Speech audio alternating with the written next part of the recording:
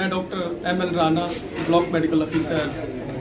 Mud आज का programme जिसमें कि हमारे रिस्पेक्टेड श्यामलाल गुप्ता जी, जो कि चेयरपर्सन हैं anti crime team registered body है, वो और उनके साथ उनकी सारी टीम मिस्टर बच्चन जी, जो ब्लॉक मर्ड में यहाँ के प्रेसिडेंट हैं, सुभाष जी और इनके सारी टीम जो इनके साथ हैं, मैं आज इनका बहुत बहुत धन्यवाद करूँगा कि इन्होंने हमारे जो मेरे जितने भी जो वर्कर्स हैं डॉक्टर्स मेरा स्टाफ ऑफिसर्स और ऑफिशियल्स को आज सम्मानित किया।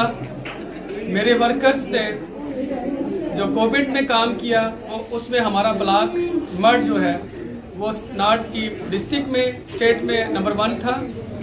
और इसी तरह अब सेकेंड डोज में भी हम 90 परसेंट तक वैक्सीनेशन पार्ट हमने कवर कर दिया है और ऊपर वाले से दुआ करेंगे कि विद हफ़्ते और 10 दिन में हम जो हमारा ये सेकंड डोज है कोविड सेकंड की भी, वो वैक्सीनेशन पार्ट हम 100 परसेंट करने वाले हैं। और मैं श्यामलाल जी गुप्ता के बारे में बोलूँ तो ये बहुत अच्छे सोशल एक्टिविस्ट हैं। हमेशा इन्होंने, उनकी टीम ने मेरे को हर जगह सपोर्ट किया है। आज हमारी एनजीओ एंटी क्राइम टीम ने सब डिस्ट्रिक्ट हॉस्पिटल मड़ में, यहाँ के जो वैक्सीनेशन टीम है, उनको सम्मानित किया है। तो जहाँ हमारे मड़ कॉन्स्टिट्यूंसी के जो प्रेसिडेंट हैं, बच्चन जी, उनकी सुपरविजन में ये प्रोग्राम किया गया।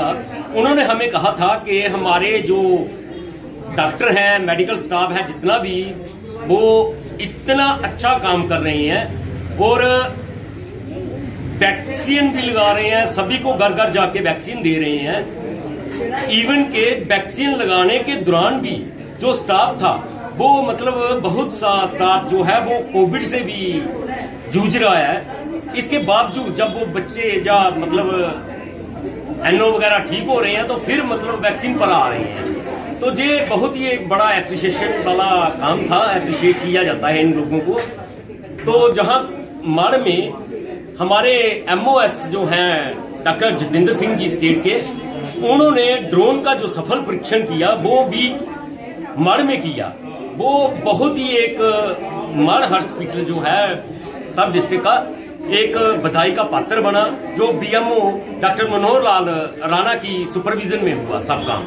तो जहाँ मैं सभी वैक्सीनेटर टीम को और बीएमओ को, स्टाफ को, सभी को एक एप्रिशिएशन लेटर दे के सम्मानित किया है।